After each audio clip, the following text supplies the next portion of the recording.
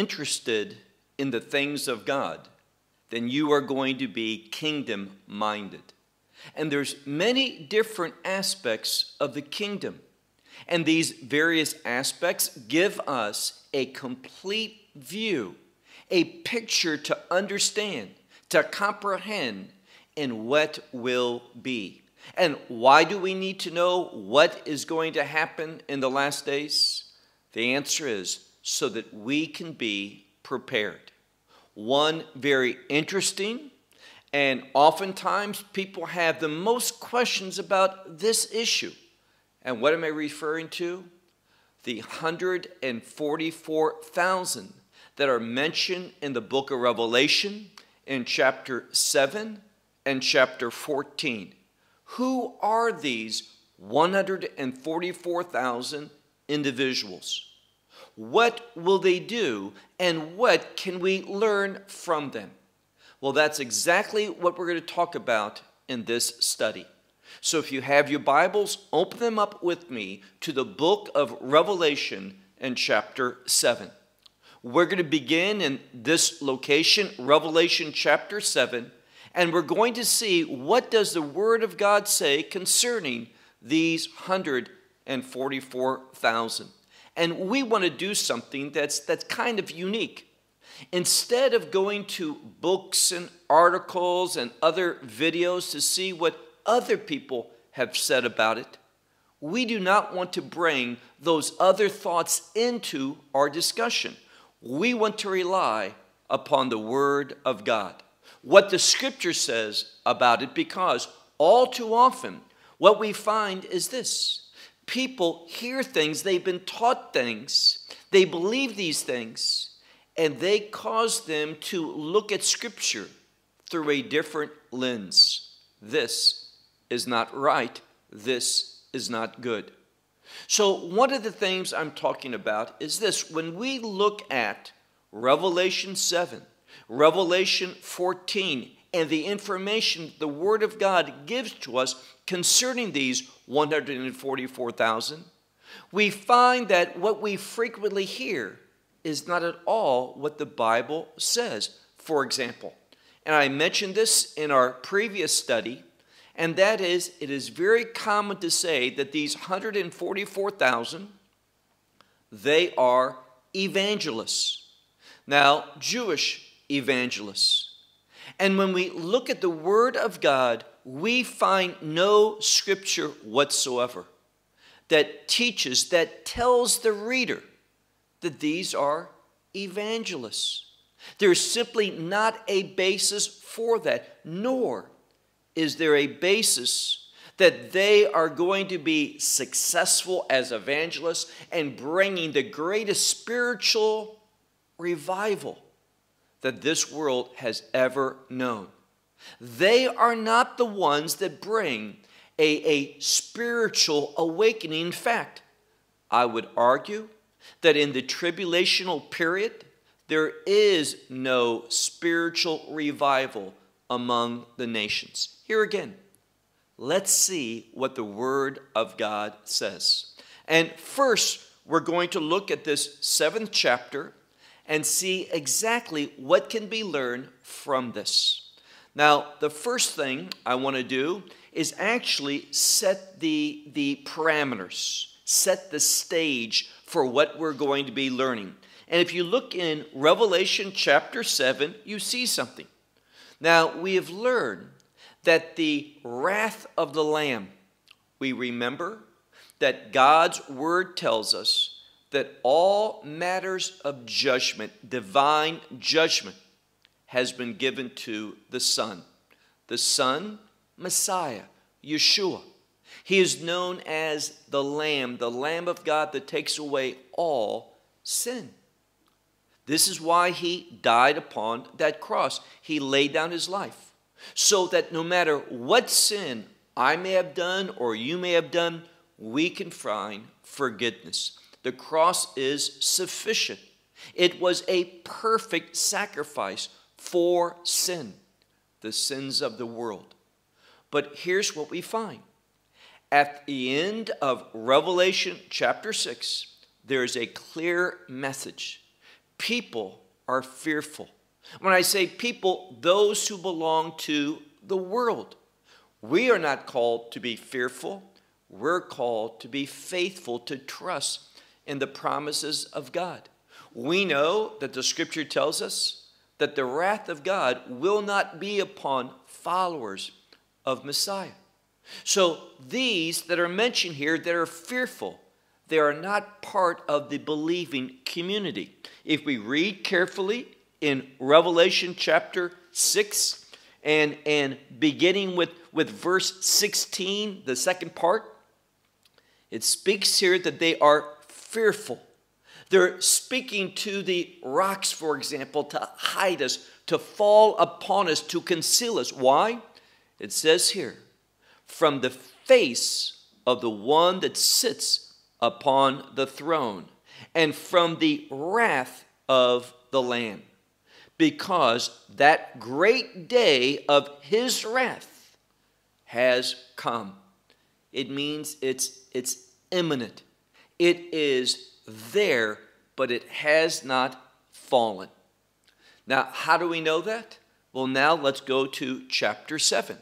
In chapter 7, we find that there are several angels mentioned.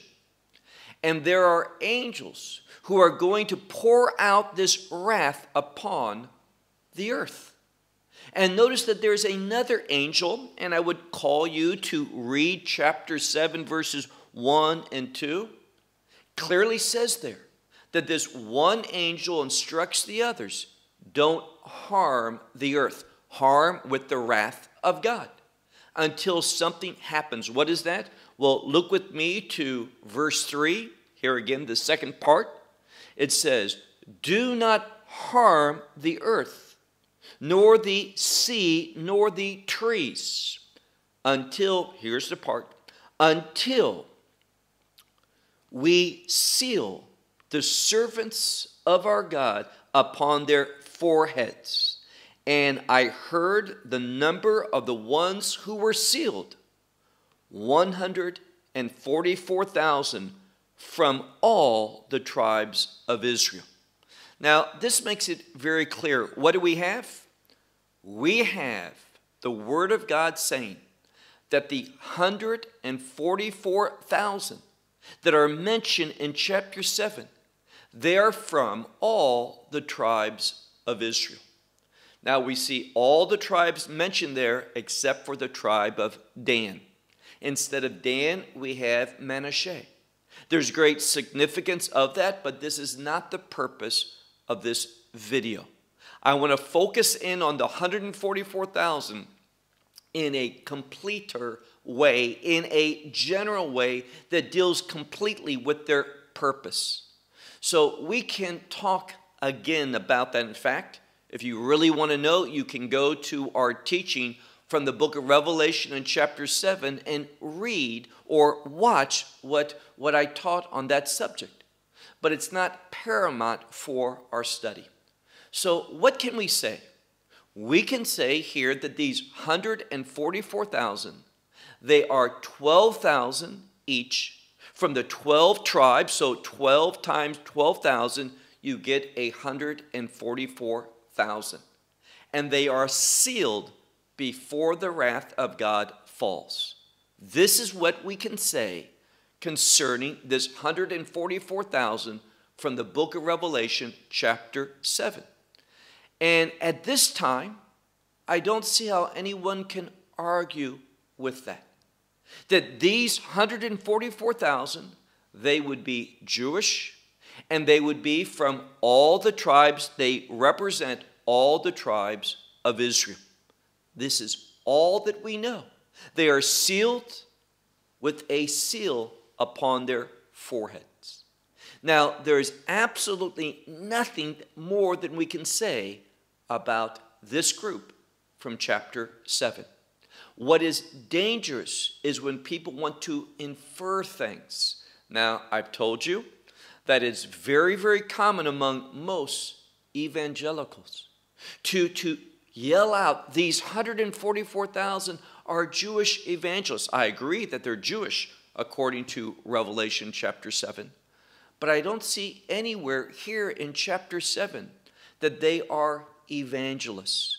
And people will say, well, if you look at the book of Joel, there it tells us that. No. In the book of Joel, it tells us that in the last days, before God's wrath comes, that God's going to pour out his spirit upon both young men and young women. There's an issue. Women are mentioned on men servants and female servants. And they are going to have dreams and visions and they're going to prophesy. None of this has to do with evangelism.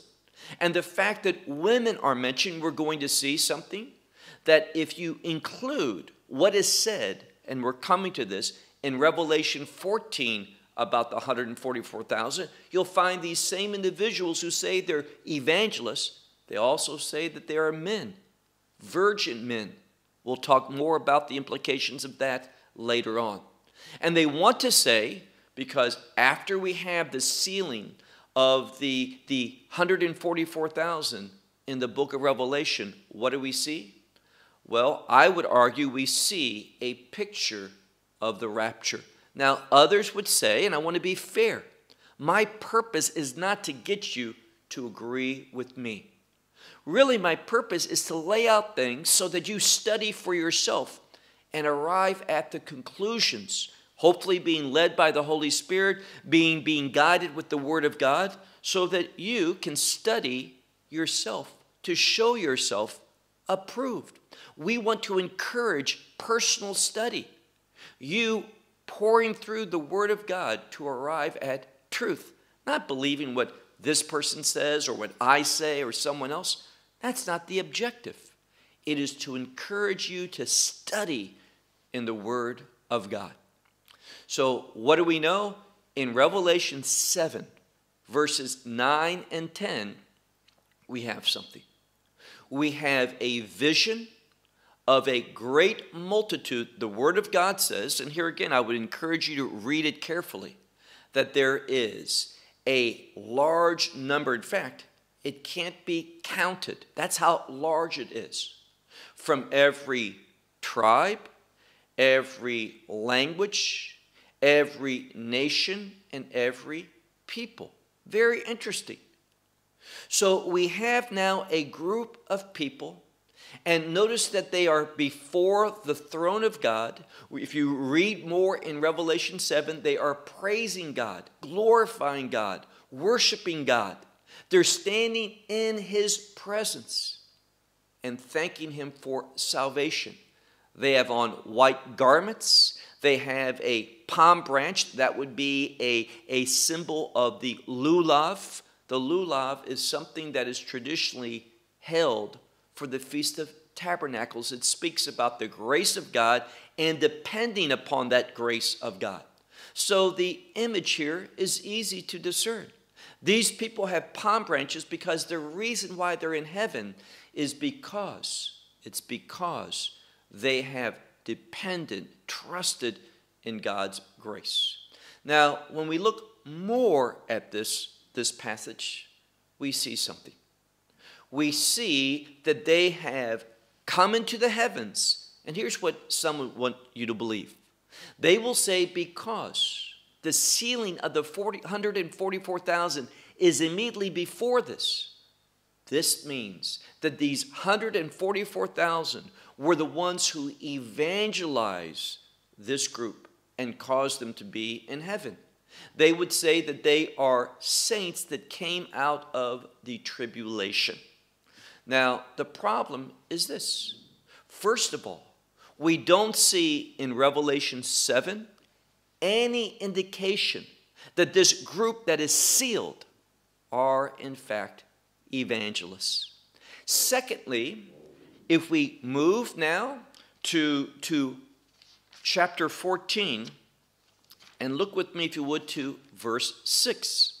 Chapter 14 and verse 6. Notice what it says here.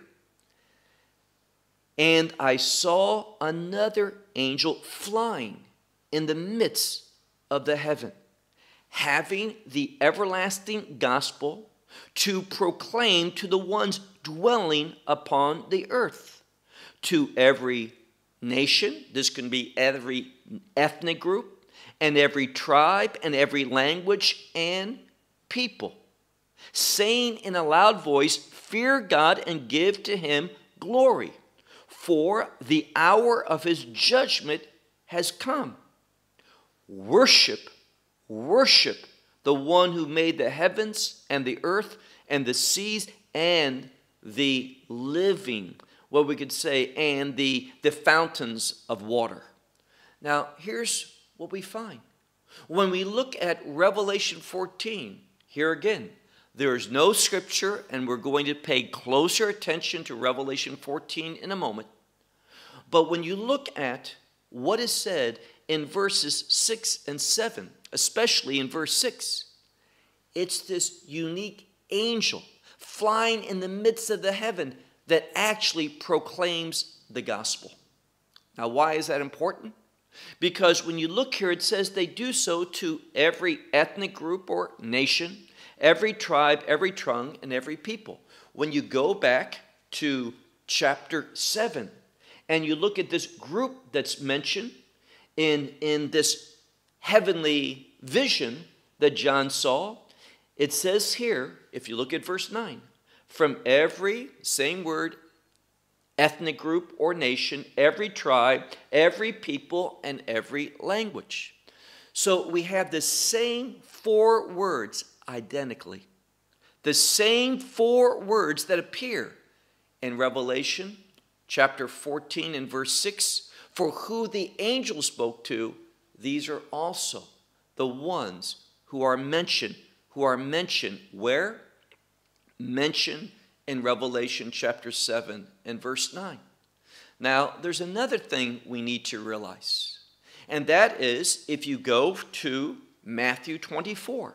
Now, here again, the Word of God is most specific. We need to pay attention to what the Scripture reveals to us.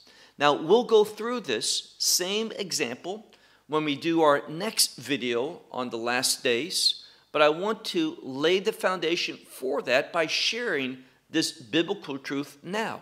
Look, if you would, to Matthew 24 and verse 14. There's something similar. Verse 14 says, And this gospel of the kingdom was proclaimed to all the earth as a witness to all the nations, and then the end will come. I'd underline that. The gospel has to be proclaimed to all the nations of the earth, and after that, then the end will come. What end are we referring to? See, we need to realize that when words repeat, there's a significance. And we see many times in Matthew 24 this word end appearing, appearing in the first third of this chapter. So, what end is it? Well, it is the end of the church age. Now, why do I say that? Because immediately after verse 14, with this gospel being proclaimed, and then in verse 15, the abomination of desolation, there is a significant change in the grammar of, of Matthew 24. Instead of saying you, referring to disciples, and obviously the disciples, the believers who will be alive at that time, there's a switch to Anshe Yehuda. That means the people of Judah. And there's an emphasis upon Israel. Now, why is that important?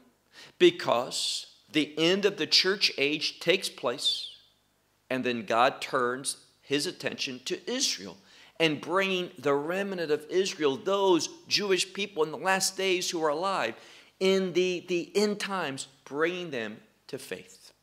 Now, we'll talk more about that in a moment, but notice how the scripture goes together. So we have prior to the wrath of God. Prior to the wrath of God, the angel is going to go through and evangelize. We also see that before the wrath of God falls, two things happen in Revelation 7 the sealing of the 144,000 and this, this event where there is a great multitude, innumerable, that are in the heaven praising God. Now, here's what we need to realize the book of Revelation is written using devices. There is a methodology that John, the writer of this book, uses. And this is undeniable. He brings, for the most part, Old Testament passages from the prophets primarily, but also from the Torah other places throughout the Tanakh, the Hebrew Bible, the Old Testament. He brings them in because they are known. And he adapts them. He puts them in a different setting. He makes a change to them. Why? Well, here's the reason.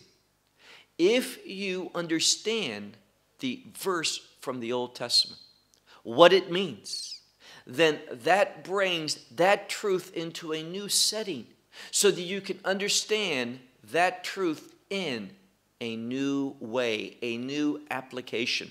And furthermore, we see that John does that same thing within the book of Revelation in and of itself. There are a few examples of this. One is what we're speaking about now. Now let's pause for a moment to, to learn something about John and his writing. You will find, if you study the book of Revelation carefully, there is an emphasis upon the number 12.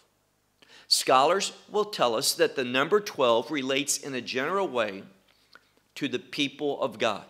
Now, why would I say that? Because of the 12 tribes. The 12 tribes, God's covenantal people. And it wasn't by accident it wasn't a coincidence that Messiah, he took 12 disciples. 12 represents the people of God. And when you look in the book of Revelation, especially in Revelation chapter 21, what's going on there? In Revelation 21, we see a description of the New Jerusalem, that final state of the kingdom of God, not the millennial kingdom, but what comes after that thousand years, that millennial kingdom, the eternal kingdom of God called the New Jerusalem. And you find that the number 12 is, is appearing in the description of the New Jerusalem frequently. For example, we have uh, 12 gates. And upon these 12 gates are angels, 12 angels who has the name of the 12 tribes of Israel. So 12 greats, 12 angels, 12 tribes of Israel. Not only that, but you have 12 foundations.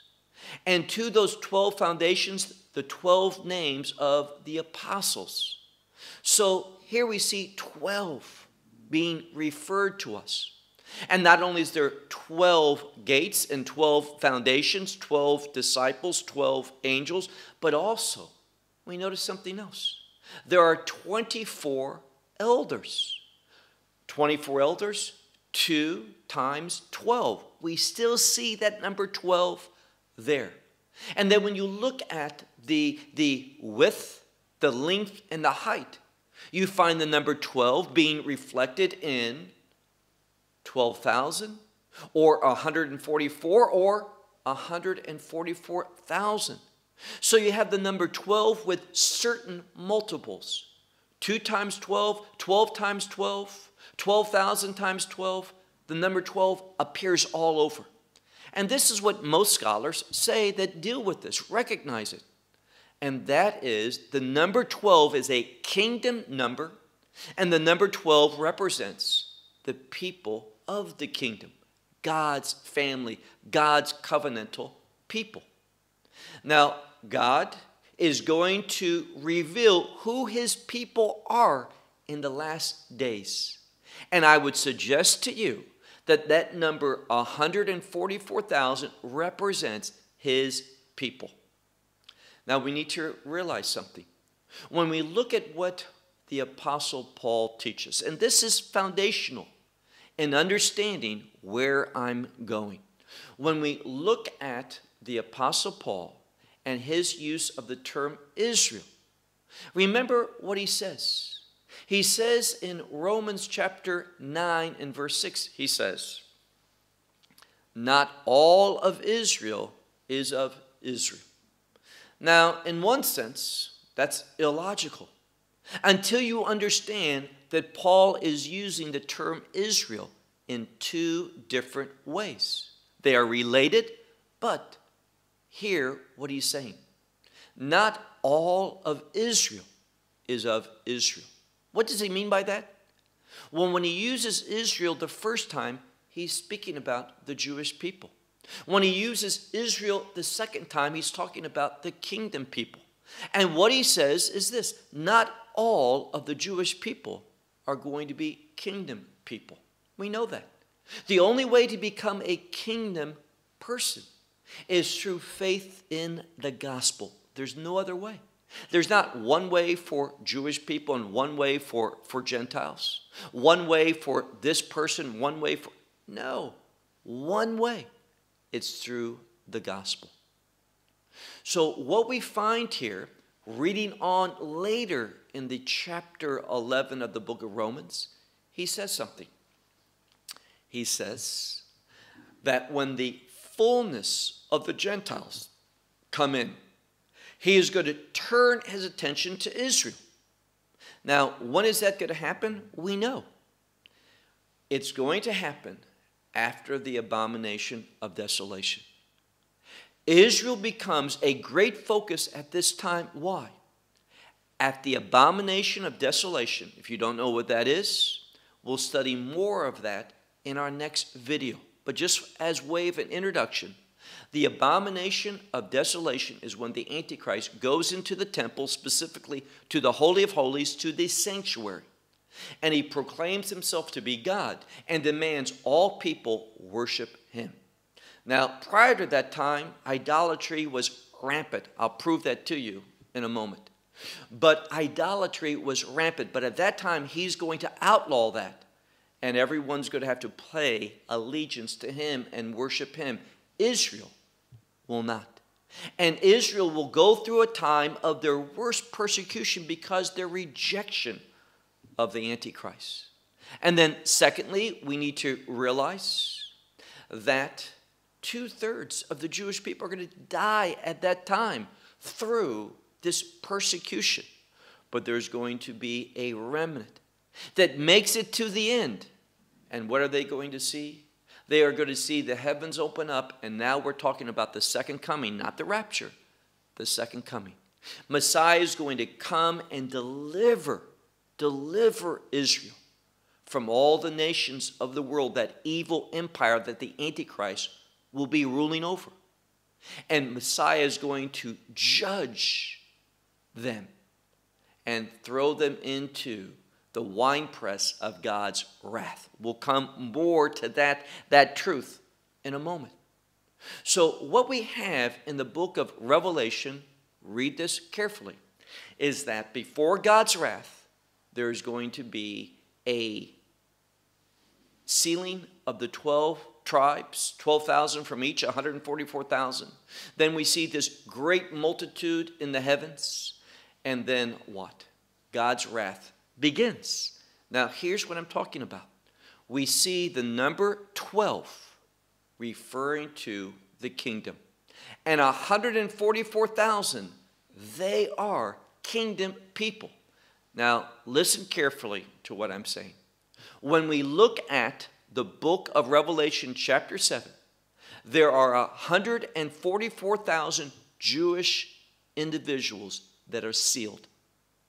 They are sealed because they're going to go through those final plagues, the wrath of God. But God is going to distinguish them from the nations. This is all very similar to what we see in Egypt. See, the Hebrews, they were in Egypt, but in the land of Goshen. This is important because they did not have the same experience as the other Egyptians and the other people who were dwelling in Egypt. Now, does that mean every one of the Hebrews who dwelt in Goshen that experienced God's shelter from these plagues. Did they all keep the Passover and, and come out? No. But there was a remnant who did. According to the rabbis, just 20%. The point is this the sealing of the 40, 144,000, they are going to be sealed to see the faithfulness of God and hopefully bring them to that faith. Now, when we look at Revelation chapter 7, we're still there, we see something.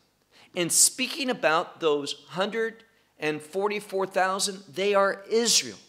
But what about this great multitude? Look again at the text, Revelation chapter 7.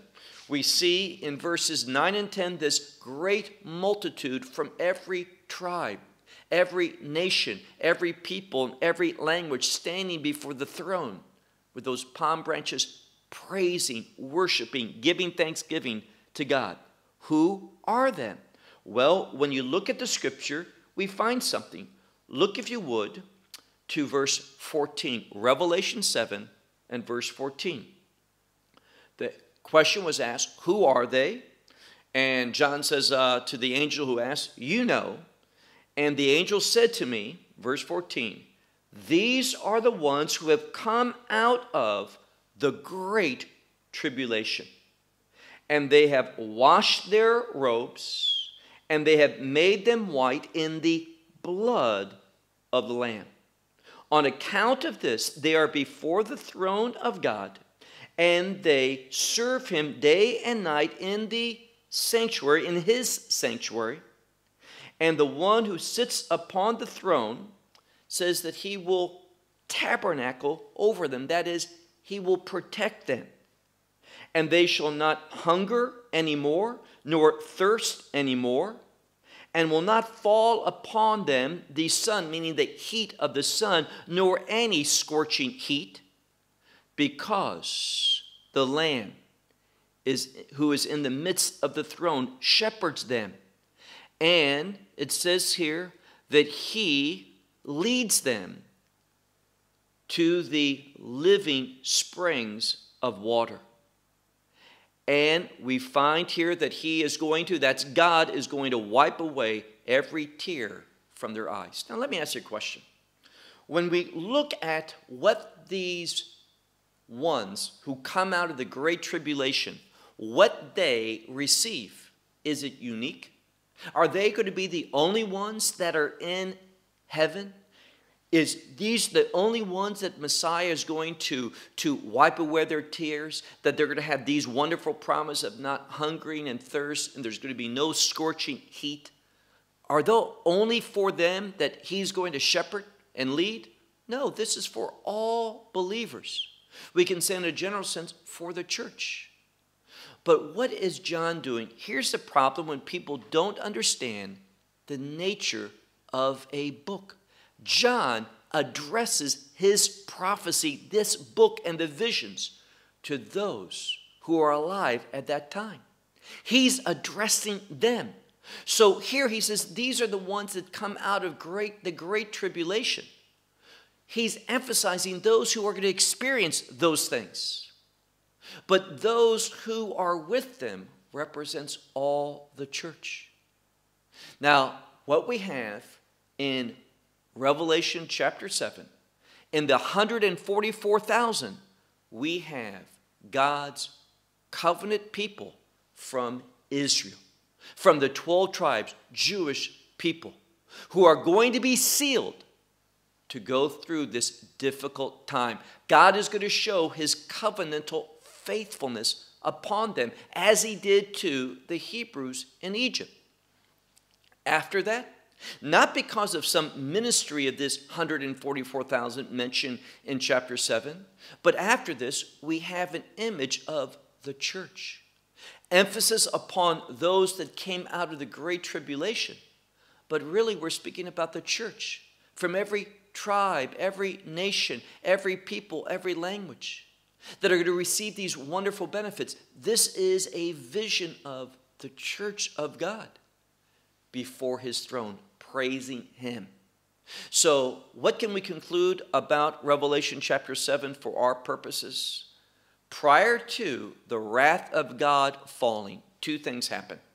The first is that the 144,000 Jewish people from the tribes, all the tribes, are going to be sealed. Secondly, in verses 9 and 10 and following, we have a view, a description of the rapture. There's an emphasis upon those who were alive at the last days that, that have that powerful testimony, but it includes all believers. So let's summarize. The 144,000 mentioned in chapter 7 are Jewish people, not the church, Jewish people that are sealed for the purpose of bringing them to the end when that gospel is proclaimed, when Messiah returns and their eyes will look upon the one who has been pierced and they're going to mourn. This is the 144,000. Here's what I'm sharing with you. This is what you want to write down and learn. The 144,000 speaks of a kingdom people from Israel.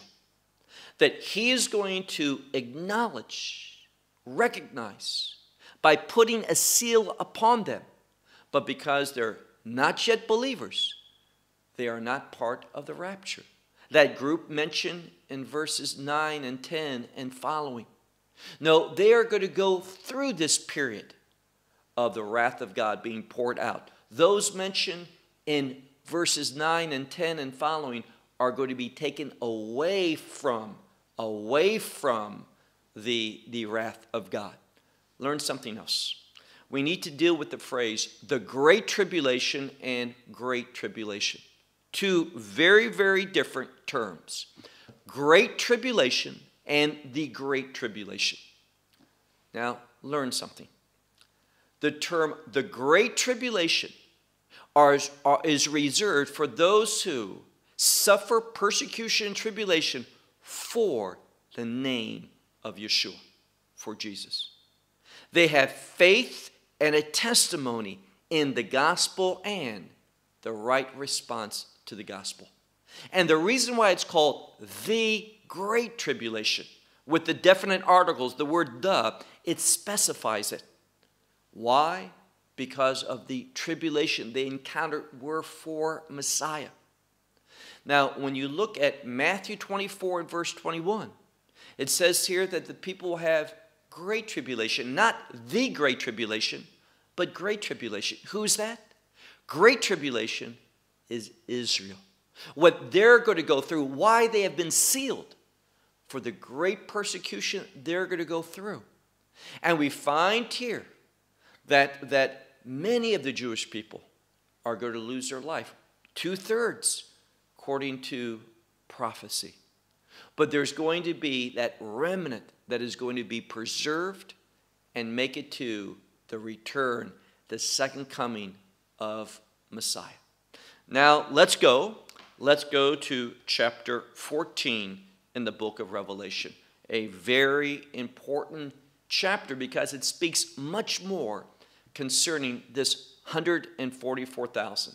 So before we look at it, in Revelation chapter 7, the 144,000 speaks of Israel the Jewish people in a collective way, not in a literal number of 144,000. Why? Remember, 12, 24, 144, 144,000 are all multiples of 12 for the kingdom. It speaks about a kingdom people. So in Revelation 7, we have a kingdom people represented from the Jewish people that are going to come to faith in the last days. Through what? Primarily because they see, they see Messiah's return with their eyes. They'll look upon, as I said a moment ago, the one who has been pierced. But now look at Revelation chapter 14 and verse 1. It says, John is speaking, he has this other vision. I saw, and behold, a lamb standing. Now, if you look here, this is in the Greek perfect. What's significant about that? It speaks about an event in the past, it's true now, and it's going to continue into the future. So this is speaking about the Lamb who is Messiah, standing where? Upon the Mount of Zion, Mount Zion. Now, Mount Zion, Zion is, is a reference to the kingdom. This is a heavenly picture. Why do I say that? Well, if you keep reading, it says here, and with them are 144,000, having the name of his father. So his is the Messiah. Messiah's father, God the Father, having been written upon their foreheads. Now, what's important here is this it says that their name or their foreheads has his name having been written, meaning it's not something new. It's not something that just happened, but it's something that was true in the past, present, and extends. That same perfect is being used here. And I heard a voice from the heavens, as a voice of many waters, as the voice of great thunder, as the voice, and the word voice can be sound, same word in, in Greek. He says, and the sound I heard were harpers, playing their harps or harping upon their harps. And notice this it says, a song as a new song they sung before the throne and before the four living creatures and before the elders. And no one else was able to learn the song. Now, what do we know here? This is a heavenly vision. Why? Well, Zion is mentioned, a kingdom word. But Zion in this case refers to the kingdom of heaven. Why? Because where are they? They are standing at before the throne. Who's there? The four living creatures. These four living creatures, they're mentioned in the, the prophets and also elsewhere in the book of Revelation. Where do they reside? Heaven. And then we have the elders. These are the heavenly elders. So there's no debate. It is, it is a fact that these 144,000 are with Messiah, the Lamb, where? In the heavens. So this teaches us something. We have a problem. We have the 144,000 in Revelation 7 being on earth. They're sealed. They're going to go through the wrath of God. But these 144,000, they are in the heaven. Now remember, we are in chapter 14. In chapter 13, we have a review. If you look at chapter 13, it speaks about the first beast coming up from the water, water turbulent. Beast is an empire.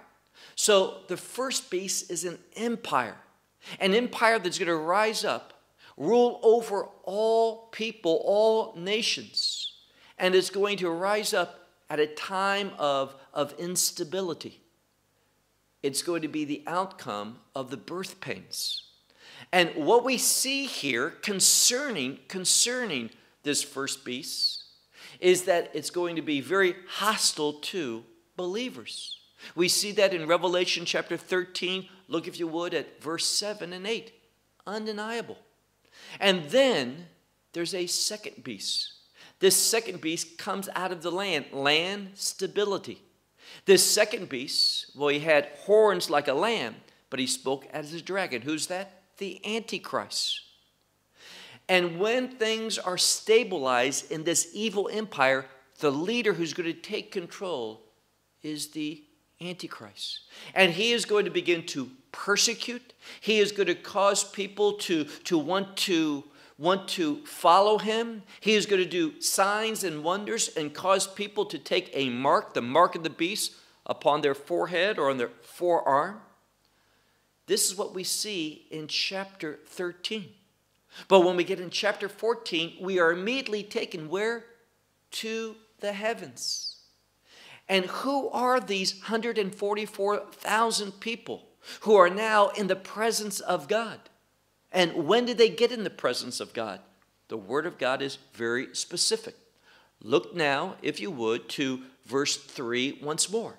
It says here, and as a new song they sung before the throne, before the four living creatures, and before the elders, and no one was able to learn this song except the 144,000 who, notice this, who were redeemed from the earth. What does that mean?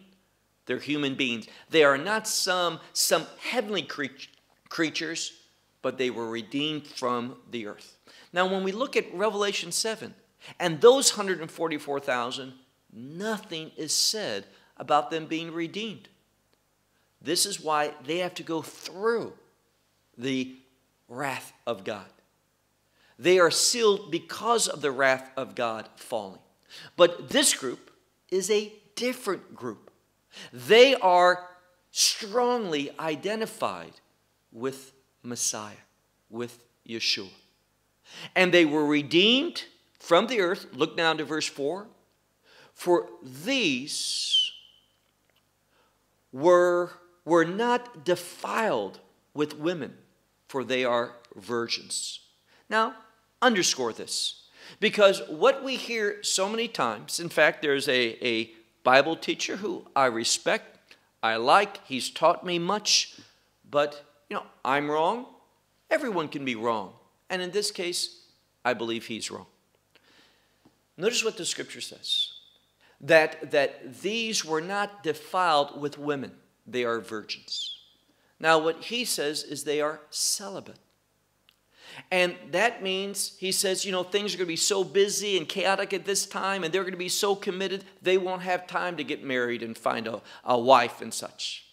Well, when you study the concept of virginity, it is not someone who I haven't found the right one, I'm too busy, things are going on. No, virginity is always spoken of as a decision for a covenantal purpose, the purpose of marriage.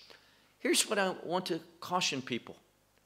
If we think celibacy is, is more holy than someone who gets married and is in a biblical covenantal marriage, this is not the case. Nowhere in the scripture do we see that. Do people have a call to celibacy? Some do. Paul speaks about that. But being with a woman does not defile you if it's your wife. And when it says here that these are virgins, realize something. If you go to the previous chapter, it tells us that that beast, that empire, is going to have you make an image and that you have to worship the image and the empire. Idolatry is rampant during this period of time under the administration of the Antichrist empire. But these individuals, this 144,000, did not commit idolatry. Many times, what it says here, they were not defiled with women, for they are virgins. Verse 4 it is speaking about them not succumbing to idolatry. They did not take the mark of the beast upon their arm or upon their forehead. They did not make that image to bow down to it. Now, notice something else. It says still in verse, verse 4 these are the ones who follow the Lamb wherever he goes. So here we're speaking about those who have a strong commitment of obedience to Messiah Yeshua. We don't see that in Revelation chapter 7. These are the ones who were redeemed from man. They are, notice this, the first fruits of God and of the Lamb. Now, the first fruits, this is important because this word first fruit is associated with Messiah. He's the first fruit and it's associated with a day that he rose from the dead. And what day was that? Reshit, this special day called first fruits. So, first fruits also has a, a, a connotation to victory. So, when it says these are the first fruits of God and of the Lamb, they have victory from God by means of the Lamb. Likewise, it says, and in their mouth is not found. The Nestle Aland Greek text says any falsehood or, or lies. The Textus Receptus has deceit. Not similar, lies or deceit, very similar. And these are the type of differences that you find in manuscripts. Two words very, very similar, but, but two different words, but, but very close in meaning. For they are, are unblemished before the throne of God. So here, once more, this group is before the throne of God. They are in heaven. And notice what we see in verse 6. We've already read this. In verse 6, we see something. We see that this proclamation of the gospel is not going to be done by the 144,000. Nowhere is that said that they're Jewish evangelists. No scripture. It is a figment of someone's mind. That people heard it and repeat it, and many believe it, and many teach it, but it's not biblical. There are no 144,000 Jewish celibate evangelists. There are individuals, 144,000. I believe that is a symbolic number. There's 144,000, speaking of kingdom people who are in the kingdom of heaven. And what do we know? Well, in verse 6 and 7, we get a passage that tells us something. John is speaking and he says, I looked another angel, or I saw another angel flying in the midst of heaven, having the everlasting gospel to evangelize, to proclaim to the ones dwelling on the earth, once more to every ethnic group, every tribe, every language, and every people. Saying it in a great voice. What did they say? Fear God and give to him glory, because the hour of his judgment has come Worship the one who made the heavens and the earth and the sea and the, the fountains of waters. So here is a proclamation to what?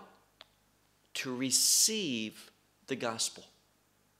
Now, this would happen when? We know when it's happening. This proclamation happens before the wrath of God falls. Now, Satan is very active through the Antichrist and this empire. But notice what it says, verse, verse 8. Verse 8, we have a foreshadowing. We are told here that another angel follows after and says, Fallen, fallen is Babylon, that great city, that from the wine of the wrath or the anger of her, this is this evil empire, her sexual immorality, that, that she made every nation drink. So God is coming to do what? To place his wrath upon those who committed what? Immorality. And this is idolatry. Now, of course, sexual immorality is part of idolatry. Read, for example, Numbers 25. What we find is that that sexual act oftentimes accompanies idolatry. But here it's speaking of it in a different way, speaking of idolatry itself as this immorality. Verse 8. And another angel followed, saying, This is about Babylon. Look at verse 9. And a third angel followed them, saying in a loud voice, Anyone who worships the beast, that's this empire, and this image, its image, and receives the mark upon their forehand or upon his hand. We find this one will drink from the wine of the anger of God, mixed, mixed up, and undiluted in the cup of his wrath. And they will be tormented with fire and brimstone before his holy angels and before the Lamb. Now, what do we see here? We see this, this proclamation of the gospel, this instruction to worship him who made heaven and earth, the sea, and all that's within them. And then there's this proclamation Babylon has fallen. Now, it has not fallen in reality, it's proclaiming that. What's going to bring about the fall of Babylon? God's wrath. So, what we see here is this great number of 144,000 people who have a connection with the Lamb. Doesn't say anything here about them being connected with the 12 tribes of Israel. Doesn't say that they are Jewish evangelists. Doesn't say many things that you hear. No, the 144,000, they are the church. That's who they are in Revelation 14. In Revelation chapter 7, that number, 144,000, it's symbolic. It's the kingdom people, but the Jewish, those of Israel that's going to come to faith in the last days at the end. God has marked them. He, he is distinguishing them in order to bring them to salvation. Now they have to receive it, and they will, the vast majority.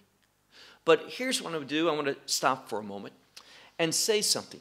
The reason why it is ridiculous to say that there's going to be the greatest spiritual awakening ever in earth from these 144 Jewish evangelists, 144,000 Jewish evangelists, is that we don't see these tribulation time, those last seven years, as a time of the Gentiles coming to faith. Why do I say that? Don't say it lightly. But if you look, for example, let's look at two places in the scripture. Go back to Revelation chapter 9. Revelation chapter 9, notice what it says, verse 20. Now, this is speaking about the trumpet judgments. First, we have the seals being broken, and the seventh seal concerns or contains everything else in the book of Revelation, including what we have here is these trumpet judgments. They are horrible, horrible judgments that are related to God's wrath. But the trumpet judgments usually have the number one third, meaning it's not the full measure of God's wrath. But notice something. After all the death and suffering and pain that has happened through these trumpet judgments, notice what it says. Verse 20, Revelation 9, verse 20. And the rest of mankind, the rest of men, that did not die in these plagues, here's what it says they did not repent from the works of their hands, in order that they should not worship demons and idols of gold and silver and bronze and stone and wood, which cannot see, which are not able to hear nor walk, and they did not repent from their murders, nor from their drugs. This is the word that we get in English, pharmacy. So it's drugs, speaking about drug abuse, nor from their immorality, sexual immorality, nor from their thievery, stealing. Now, if you look here, would you not agree that idolatry is mentioned here strongly? Realize in the last seven years, idolatry is going to be rampant in this world. This should form our understanding of what it means that these 144,000 were not defiled with women, that they were virgins. They did not succumb to idolatry. But notice it says here, they didn't repent. Where is the great spiritual arrival? Well, maybe it's later on. Well, it's not. Look now to the bowl judgments. Look, if you would, to chapter 16. Now, what I want you to see is that we need to know this book of Revelation, exactly what it says, the order of it, how it is written, meaning the literary devices that help us understand it properly. Look at verse 9. Verse 9 of Revelation chapter 16, it says, And they blaspheme the name of God the one having authority over these plagues. So those who suffered, and these are the bowl judgments, God's full and devastating wrath. It says here, these individuals, what did they do? They blasphemed the name, that means the character of God, this one having authority over all these plagues, and they did not repent to give him glory. Now, very clear, they did not repent. Look at verse 11. It says, And they blasphemed the God of heaven, from which they suffered these, these hurts and these pains, and they did not repent of their deeds. So I ask you, Where is this, this great spiritual awakening? Where do we find that? Now, here's what we see in the scripture we see in the book of Revelation, chapter 14, an image of the 144,000. It's the church. We see the church in the heavens. We see that before God, they are holy. They are virgin, meaning they were faithful. They had fidelity to God. They washed their, their garments in the blood of Messiah. That's who we're speaking about.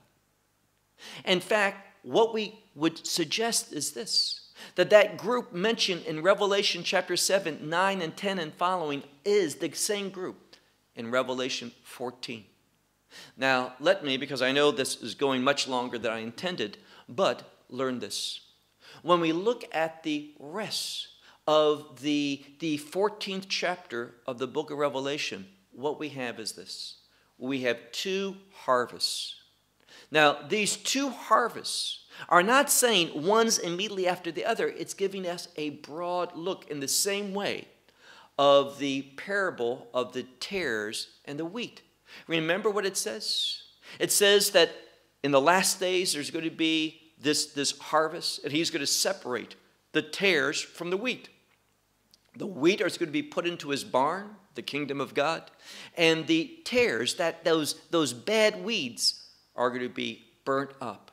The context is judgment and judgment time. Well, at the end of Revelation 14, it talks about that, that there's going to be a sharp sickle given and Messiah, this one who, and we can read it very carefully. Look, if you would, to Revelation 14, and let's look, for example, at uh, verse, verse 14. And I saw, I looked, and behold, a white cloud. And the one who sat upon it was like the Son of Man, having upon his head a golden crown, and in his hand he had a sharp sickle. And what we're going to find is that this one is Messiah, and he's coming to harvest, harvest believers. And then later on, we find that the angel comes.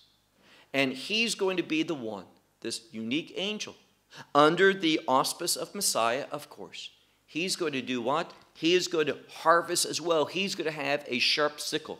And he is going to harvest as well. And gathering, and I'm reading in verse 18, towards the end, he is going to gather up the clusters of the vine of the earth, and he is going to tread upon the grapes and cast, the angel is going to cast them into this, uh, this, he's going to cast his sharp sickle into the earth, and he's going to gather up the vine of the earth, and he's going to cast them into the winepress of the wrath, the great winepress of God's of God. And they are going to suffer his wrath to the extent that blood is going to come up to the level of a horse's bridle and it's going to go forth for 1600 stadiums that's 1600 stadiums which is approximately close to 200 miles or we could say that it could come to approximately 300, or really three, yeah, 300 kilometers. That's how the blood's going to flow. And all of this is to tell us something. Exactly what Paul told us in Romans chapter 11. Because in Romans chapter 11, he says something. He says that God is going to work with the Gentiles until the fullness of the Gentiles come in. And then he's going to turn to Israel. And Israel's going to get saved. And when Israel gets saved, it's not going to bring about some great revival, as some teach it. It's going to bring about the establishment of the kingdom of God. Why? It says, if Israel, if Israel's failure means the salvation of the nations, not, not all the nations, not all the people, but a great number. If their rejection meant the salvation and their reconciliation of the nations, what will their acceptance be? Paul tells us this in verse 15 life from the dead. What's life from the dead? it is a reference to the resurrection. When we hear resurrection, what should come into our mind? Kingdom. So here's what Paul's saying God is going to move, and he is going to bring the fullness of the Gentiles in. That time of the Gentiles in with what? The rapture.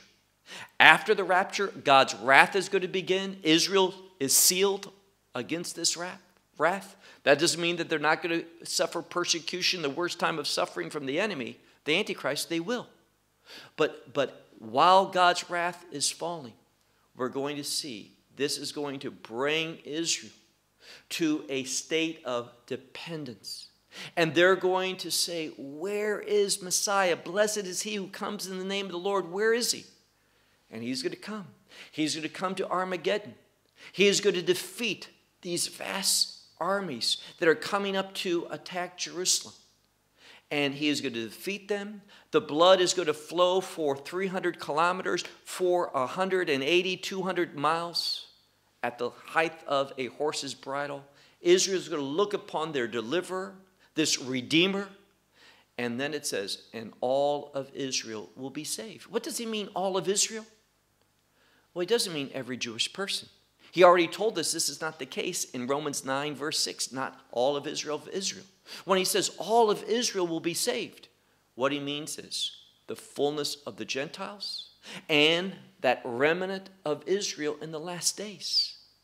And what we see here is this Revelation chapter 7 speaks in a general sense of those Jewish people who are going to come to faith in Messiah and will be kingdom people. That's Revelation chapter 7, that 144,000. It relates symbolically to Israel coming to faith. And in Revelation 14, it speaks of those who are uniquely connected with the Lamb who are of the church. They are going to come to faith and be brought to heaven when? Before the pouring out of God's wrath. That's what we see when we study Revelation chapter 14. So, in conclusion, who are the 144,000? Nowhere do we see that they're evangelists. Who's the 144,000? God's kingdom people. Those from Israel, chapter 7, and those from the nations, which includes a remnant of Jewish people who came into faith before those last days. And what we find is the 144,000, that number is a kingdom number, the kingdom people who are going to spend eternity and what we see those who are going to be shepherded and fed and nourished and protected and blessed, who are going to worship the Lamb and worship the one who sits upon the throne, worship God, Father, Son, and Holy Spirit for eternity in the kingdom of God. The 144,000, an important biblical truth. And it's this interpretation that removes so many of the, the, the difficulties and the contradictions that you find with other views. Well, I'll close with that. If you made it all the way for the last 68 minutes, I commend you for your diligency. Until our next lesson in the last days, shalom from Israel. Well, we hope you will benefit from today's message and share it with others. Please plan to join us each week at this time and on this channel for our broadcast of loveisrael.org. Again, to find out more about us, please visit our website, loveisrael.org. There you will find articles and numerous other lectures by Baruch. These teachings are in video form.